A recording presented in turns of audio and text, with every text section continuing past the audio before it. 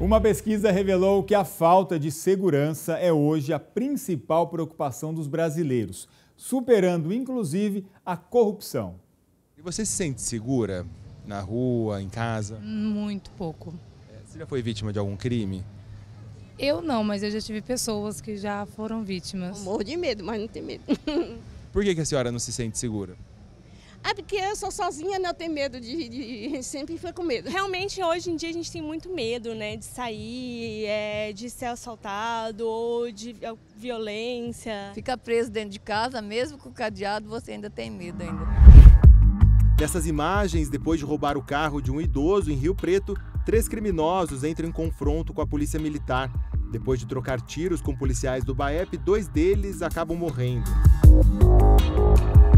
Já os registros de um circuito de segurança deste estabelecimento, também em Rio Preto, mostram um suspeito correndo atrás de algumas mulheres.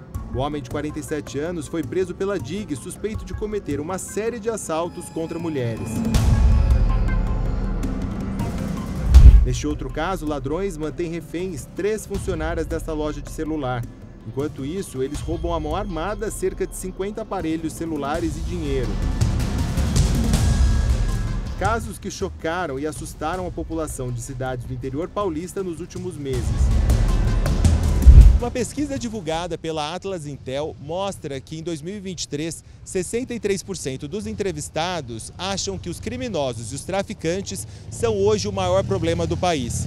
A preocupação com a segurança pública superou até mesmo a corrupção, que aparece em segundo lugar, com 54,9% das respostas. Esse especialista em segurança pública explica que em menos de 30 anos, a população carcerária do Brasil passou de cerca de 200 mil para mais de 800 mil pessoas. Ainda segundo ele, grande parte por crimes cometidos por eles são relacionados ao tráfico de drogas. Hoje, a preocupação se volta para o tráfico de drogas porque é realmente um, um, problema presente na nossa sociedade. Isso reflete, inclusive, no número de presos que, que existem no Brasil. Nós temos, no Brasil e no estado de São Paulo, aqui, por exemplo, nós temos 40% dos homens presos são por conta de crimes relacionados ao tráfico e das mulheres presas, esse, esse número chega a 60%. Sem contar que a gente tem também nas grandes cidades as, as, as chamadas cracolândias. Se a gente acaba com essa cadeia né, de, de, de viciados, né, a gente acaba com o consumidor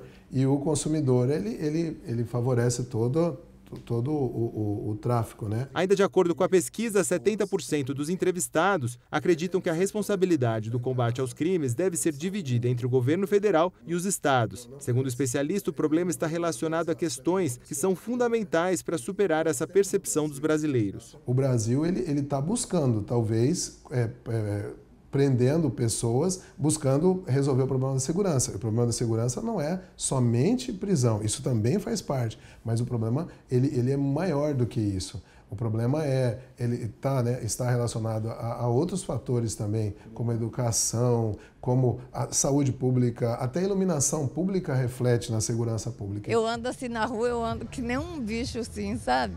Não sei nem onde que eu estou pisando, de medo de quem está atrás, quem está do meu lado que a senhora acha que deveria ser feito para melhorar isso? Tem mais segurança, Vi. A segurança é pouca para nós.